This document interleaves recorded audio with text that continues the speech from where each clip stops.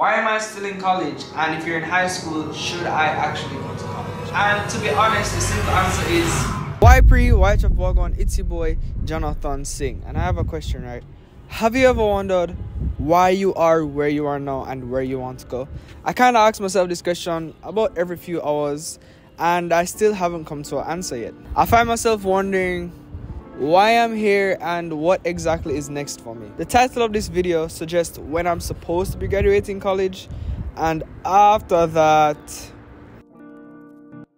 there are many reasons why you may have this question similar to me. Whether it's the drive you have for yourself, the passion you have for something you love, or the various things that have happened in your past that led you to where you are now. So let me tell you a little bit about my personal experience. I don't want to bore you guys with my entire life story, so I'm going to start from high school where things start making sense or make absolutely no sense at all. When you're a kid, let's say between the ages of 3 and 12, people always ask you, what do you want to be when you grow up? And usually you'd have some good answers, you know, like you want to be a pilot, a dentist, a surgeon, because you don't know what it takes to be any of those things. You just see those things and you like them and you want to be them.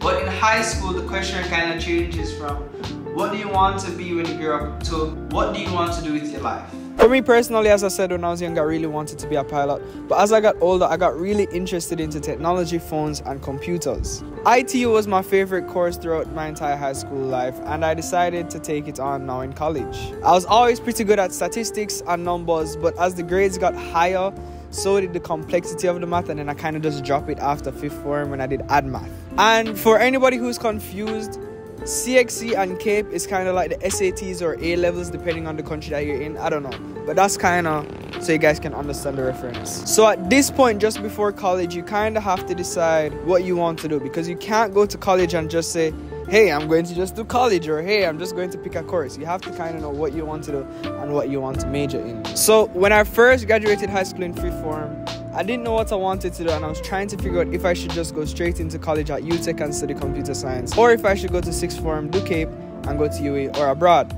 And my grandma said, hey, if you already don't know what you want to do, just go to sixth form. So that's what I did. And in CAPE, I tried to keep my options as open as possible. I studied computer science, entrepreneurship, gaming, and animation, along with the mandatory courses. And that kind of helped, but it kind of also didn't help because even after those two whole years of going through CAPE, I still didn't know what I wanted to do. Leading up to the point where I decided I'm going to study computer science at UWI, which is what I've been doing for the past two and a half years. And as you guys know, that's around the same time that Corona hit. So I honestly only got to experience one semester and a half of face-to-face -face college. Everything else was online. And let me just track back for a bit. In around 2016, when I was in Florida with my aunt, I had too many drinks of Red Bull, of course. While I was playing games with my friends, they were like, yo, why don't just make a YouTube video? And that was my first Q&A video. And at that point, I was just making skits, tiny little videos, vlogs, just random things that I found interesting at the time. But after a few months of doing it after summer, I kind of got bored of it and I decided to stop. But right before college in 2019, my little brother asked me to make a YouTube video, and that's when I started back. And since then, I've been consistent as I possibly can for you guys. I've been making the best content possible. So, while I was going to classes, I was simultaneously making YouTube videos. So I would skip classes to make YouTube videos. I had friends in my classes who would let me know if there are assignments due, if there are coursework, or if there was homework. So big up to everybody who helped me throughout college. And also big up to the people who helped me film videos. When I just started college, I started making videos with my friends, doing public videos, public pranks, interviews, asking my friends about their lives, how they feel about themselves, and a lot more stuff. You guys can go and check out those videos. They should still be up. So at this point, I was probably the most dedicated I've ever been doing YouTube. I used to make notes in my notepad on my iPhone and I used to airdrop them to everybody who has an iPhone in my class. Obviously, most people declined, but the few that did actually accepted and subscribed. And at that point, I had less than 1,000 subscribers. And today, I'm proud to say that we have over 44,000 of you guys. So thank you so much for the continued support. And if you're watching this video and you haven't subscribed already, the subscribe button is right here and the like button is right here. And those things are totally free. So stop what you're doing, subscribe to me and like the video. Thank you so much, this really helps me. From pretty early on, I had to learn how to manage school and YouTube. And for most of you guys, that would be school and work. But between those things, there's also life. We all have our own personal things that we go through at home. We all have lives outside of the things that we have to get done. And a part of this difficulty is in between all of that, we still have to try and figure out what it is we want to do and where we want to go in life. And there's always this constant pressure of you trying to figure out what it is that you want to do after whatever phase in life you are in, whether it's high school or college. Or even if the choices that you've made in the past have been the right choices for you. At this point, you guys are probably thinking, this guy already figured out what he wants to do or where he wants to go. But honestly, that's furthest from the truth. Throughout my entire time at college, I always contemplated switching courses, switching majors, dropping out completely, dropping YouTube, continuing YouTube, going full time. I've had so many options throughout my life in college. And I've always contemplated pursuing something else. Because the thing is, life isn't straightforward and we make life-changing choices every single day, whether you realize it or not. So while I was still in the midst of figuring myself out, the worst thing that could happen to any of us actually happened.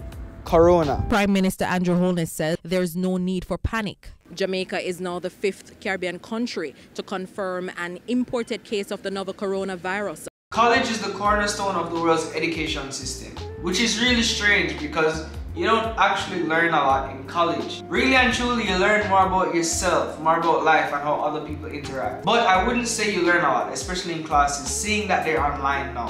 And I'm not saying not to pay attention in the online classes. I mean, if you're a med student, a dental student or something, law, please pay attention in your classes. I can't help you, my thing kind of different.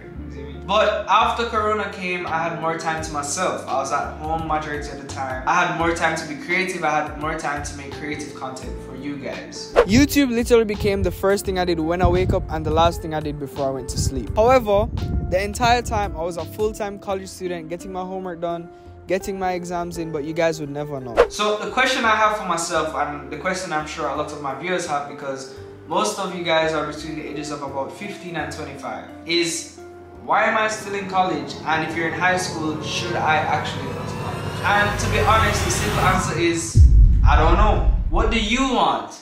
Everybody's life is different and everybody's circumstance is different. And everyone is given different opportunities. But you have to take advantage of all the opportunities given to you, regardless of what it is. And to be honest, you'll never know the results of the decisions you've made until long after you've already made those decisions. And you've seen the results of them, whether they're good or bad. So make the most of your decision no matter what you decide to do. Otherwise, you're going to regret it. And that goes for anybody, anywhere, doing anything. Hopefully I can look back on this video and all the other content that I've made so far and laugh, and laugh in a good way. Because honestly, I'm not sure where I'm going to end up or where I'm going to be, but I'm having a lot of fun right now. So uh, I think that's the end of this video. Don't forget to like, comment, share, and subscribe. Share this video with a friend if you enjoyed. And we'll see y'all next time. Like kinda.